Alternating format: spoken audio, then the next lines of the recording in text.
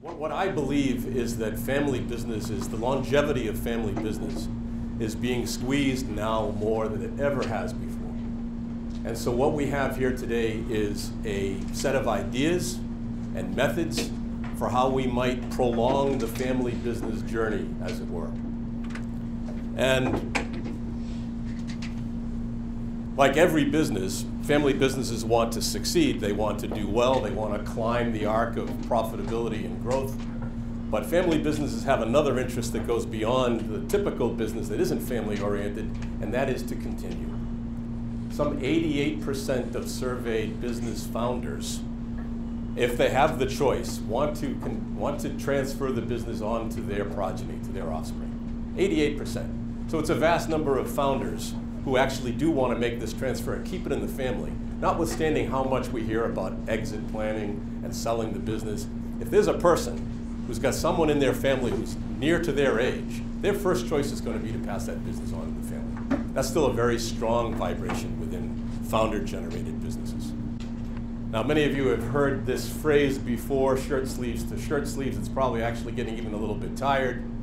But what that phrase represents is the unfortunate historical record for family business where the first generation, the founder of the business, rolls up his or her sleeves, gets to work, creates a business.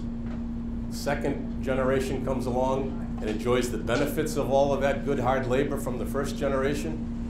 And then come the third generation, the wealth or the value has been squandered to the point where the third generation has to roll up their sleeves and get dirty again and start it all over. Now that may not apply to every business that you know and operate, but it is the norm largely worldwide historically. In fact, my Mandarin-speaking son tells me that Fubu Guo San Dai is the Chinese expression, which is also similar to this, which means fundamentally that whatever success we've generated with our business, we've got three generations, and that's all we've got. After that, we've got to do it all over again. And there's Spanish translations, Italian translations. The world over has known this phenomenon associated with family business. And if we're to accomplish anything in this conversation, it will be to talk about those ideas which get us past that historical rigidity and that endpoint, which doesn't necessarily have to be our, our fate. Startup businesses in the US correspond with this three generation problem in that for any business that gets started up in the US today, in recent history, 15% of those businesses will ultimately survive for five years or more of selling activity and profits. 30% of those 15 companies, let's say we've got a, 100 companies that start up today, 15 of them will, will move on successfully. 30% of that 15, or just under five, will actually pass that business on to the second generation. And 12% of that original 15, now we're down to about two companies, will make it to the third. When you get to the fourth, now you're dealing with numbers less than one, fractional quantities, very, very small percentages that move on. And when we take that recent historical data and we place it against the the longevity or the long historical record, we see that it still fits pretty nicely within this, and I shouldn't say nicely because it fits within the tragedy, if you will, of the three generational story. Now, notwithstanding that, the economic performance of family business is sterling when contrasted with non family business.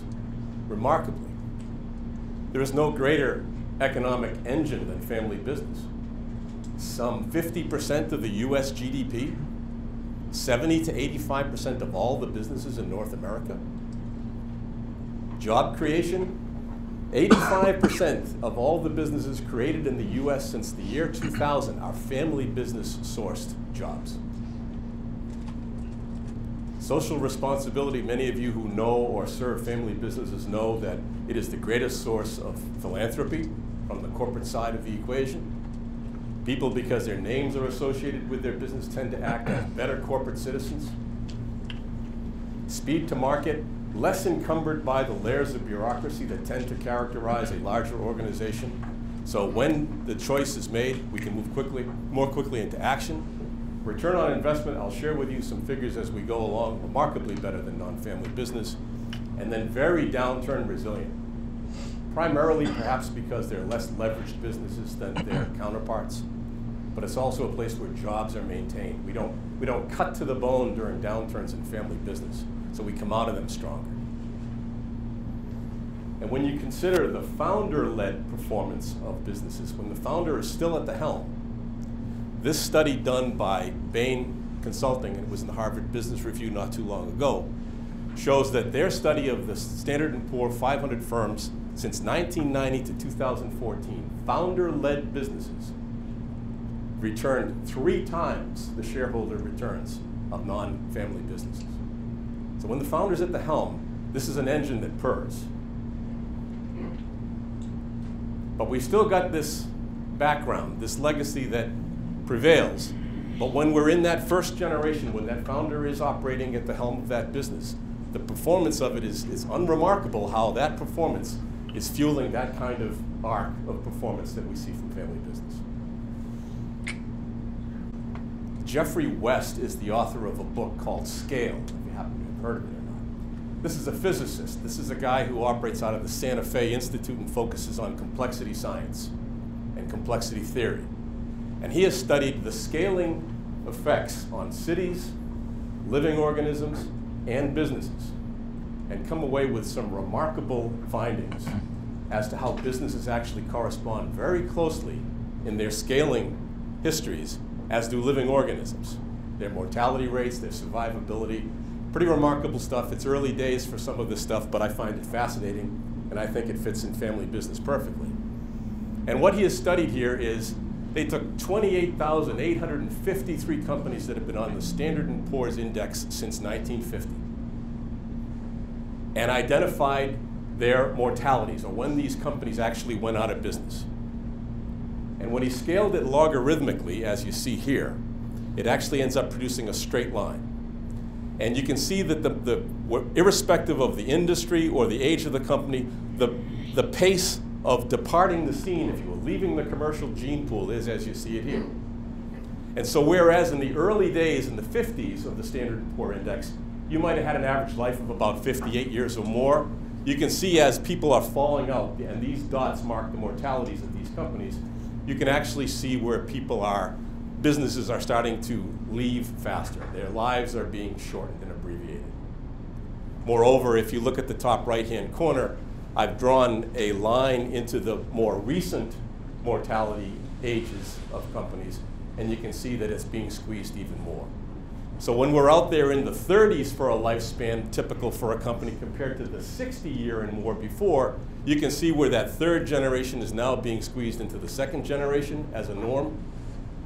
And this is the pace of socioeconomic change. This is the forces of complexity all bringing to bear upon business particularly on family business, in abbreviating their likely lifespans unless we do very substantial things and act in very substantial ways. More to say about that later, but the emphasis here is that, as I say, we're starting to see this squeeze effect going on from what the data is telling us, and our challenge is to get beyond that. This is a typical, if we apply systems thinking, and many of the theorists believe that systems thinking is the right approach to take, understanding family business and how to unravel some of the restrictions that we've got there. This is a typical behavior over time chart that reflects one of the system archetypes called limits to success. And within that, as I'll show you later, there are reinforcing feedback loops, and then there are resisting feedback loops in any system. And with family business being a system, we can see that the overtime performance of any system with those characteristics is very much like what we see from a family business. And our task here is to break this trend and move beyond. And hopefully some of these ideas and methods will serve in that purpose. So what have we got here? We've got this seven points, seven pivotal points in the evolution of a family business that I've identified as being places where if we act in certain ways, if we are a certain way, we're more likely to help prolong the family business. And as I considered each one of the seven, a C word kept coming up for me to represent it. And so I ended up with seven C's, and so you can see where the sailing and the, and the navigational thing comes in, and it's a metaphor that I just couldn't quit. So I had to add this sort of illustration to my, uh, my approach for you today. the passages between the seas, which are oftentimes in sailing lore the more trepidatious places to, to move about on the seas. And so I'm going to offer specific actions between the seas as we make this journey together. What is the background of the work that supports this? I'm a former non family CEO in two family businesses, which provides a, an interesting perspective, as some of you would recognize. Uh, I have served as a coach or consultant or advisor for some 24 family businesses, some of which have extended over multiple years. So there's a great source of learning I derive from those family businesses that I've served. And I've been a course developer and teach the family business topic at uh, HULT in Boston. So this is the, the background experience from which this information I'm sharing with you largely comes from. Most of it time tested with clients. And the interests that influence you won't help but be able to see that these topics, which are three of my loves, if you will, the topic of leadership, which I also teach and coach individuals, uh, philosophy, which seems to increase in, in, my thinking, perhaps in my third 30 chapter of life, and then the whole subject of complexity, because these forces that we really don't quite understand fully are bearing down on business performance, and we've got to get a grip on them if we're going to help our clients or ourselves prevail. So let's take those three interests that I have and apply them right away to the first C in this discussion. And in this first C, I've, I've chosen the word care, and that may seem like a curious or an odd word to use for starting the journey of a family business. But here I philosophically refer to Martin Heidegger, who was a German philosopher. Many of you may know the name or have read him. But um, he used the German word Sorge to represent what he described as being the genuine characteristics from human beings. That we, we, we react to those things that matter to us, we attend to the things in life that give us concern. So this is not caring for necessarily. It's more about caring to. It's more about being propelled into action by something that matters to you. And when it comes to starting a business, I can't think of a better word to represent where it all begins. When somebody starts a business, there has to be a deep commitment of time and treasure to such an undertaking. And that really requires an authentic person operating authentically to be able to do that. So we start with this concern. We start with this recognition of something that matters to us enough to actually go out and start a business. It's a big undertaking, as you know. As we go through the event cycle of any leadership activity, again with this first spur, this, this first care to move into action, we ultimately will have an idea, it translates to action, and it requires followers to continue it on. If we expand on this a little bit and introduce what I call the eyes of a leader, we, it requires our imagination to move from the initial concern, that matter which has prompted us into action, to the idea, to the crystallization of the, ah, I can see this business of mine in the future. And if there's enough self belief, enough strength of character to say, I can do this, we then move into action. This is often a, a, stumbling point for many businesses that never get started, that are these ideas or grand visions that people have. Without the belief in oneself to move forward and act, they fall, they fall dead. Now, as we move, move beyond that, from initiative into action, ultimately we have to influence followers to come along with us.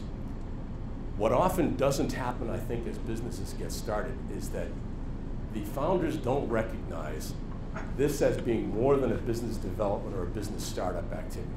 Whereas I believe we're talking about the onset of a leadership exercise. We're talking about the demonstration of something truly authentic to that person, where they've committed themselves to this, and to get followers to choose to follow them, instead of just simply being hired to do work is a very important criteria we'll see later on when we get to that transition in a family business where succession is on the table. And as you know, that's where often the tragic ending of so many family businesses occurs. This is the place to begin to prevent that tragedy from happening by inducing people to choose to follow what it is you're trying to create. And so here we're talking about not just starting a business, not just hiring people to do work, but to get them to follow and to believe in what it is you're creating this business for. In this space, in this first passage between the care sufficient to start a business and the company that we create, what I often see happen with my clients is that they cannot precisely see the forward image of the business. And so what I try to do with them is to get them to focus on just the 24-month horizon. I'm sure you remember because it's a phrase that for some of us with gray hair that we used to use, the, the five-year plan. Well, today, a five-year plan would effectively eliminate 25% of the businesses that are publicly traded because the half-life of all publicly traded businesses is now 10 and a half years. So five-year plans, forget it. That's a phrase you can dismiss. If we can actually focus precisely on a 24-month horizon, it gives us the best chance of ultimately seeing where the hurdles are in front of us and what we're going to need for provisions on this journey to actually get to where it is we think we want to go. And one of the things I recommend in this phase is to have a seasoned advisor who's been experienced in matters such as this to assist. And that's one of the things that we at Newport do for our clients. So as we move to the second C, we've gone from being in a situation that has prompted us into action to create a business to now being in business. And what are we to be in business for? I think it's a crucially important criteria. And again, I borrow from Heidegger, and that for the sake of which we create a business is central to our prospects for longevity. I often ask my clients when I first are, am engaged with them, um, so what are you in, what are you in business for? What, what do you love about this activity? What, what's, what's the, what, what lies underneath it for you? And I often get a, a stumbling response because people aren't usually asked this question. And invariably, the response will be, well, we're in it to make money. And of course, for a commercial enterprise, you really have got to be concerned with generating a profit. But what I often find is that what they truly are in it for is for their own income, is as a means to an end, as a means to look after their families. And the fear I have for businesses with that intent is that you're not going to induce people to follow you if you're, what you're interested in is your own income. And you're not going to create any kind of imaginative outcome where you follow the track of your customers and their moving interests and changes and preferences when you're thinking about yourself. You've got to be in the business to be of service to others based on some requirement, and hopefully from that, do it profitably where you can look after your own personal concerns.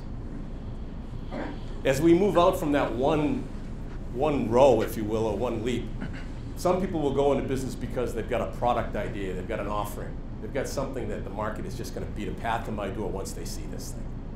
And that's very close to the person themselves because after that offering, whether it lands or it doesn't land in people's interests, what's left after? That? I think what's more sustainable, what's more likely to ensure the longevity of family business is to be concerned about a problem, a market need, something out there in the world that people are feeling enough about to want to pay someone to fix it, to address it, to assist them with it, and enough interest to get people to follow you with this business mission, to care enough about it to put themselves in it. And if it's just you or it's just your offering, you're not going to attract people in that deep, authentic way to get them to commit to this business mission going forward. And remember, we're talking about trying to sustain a multi-generational family business. We're going to have to have deep roots like market problems, market needs, market interests that serves us and propels us forward. When we move from company to the third C of competence, the structure of this vessel that we're creating is important. And where I see things fall down is, and if, you, if anyone has read the book, The E-Myth by Michael Gerber, it's a pretty common book. Lots of small business owners have, have read it. His counsel is, I think, is the right counsel, which is if you're going into this enterprise as the doer, or if you're locked into thinking that you can't trust your staff and your people to do this work and you end up doing it yourself, it's, it's the death knell. You will soon not even pass through any kind of generational transfer. And so the, the promotion here is that we've got to make sure, and again, having seasoned counsel to assist and to bounce ideas off of and to challenge your thinking is to move out of this frame of being the doer to at least being the manager. I mean, we may, we may need to do enough to actually show people what it is we expect, but we've got to move into managing so that we've transferred the responsibility of doing, and then ultimately to step back from that and look at it as an entrepreneur or as a business founder with other possible businesses to found in its wake. This is the road to the prospects for longevity in this passage.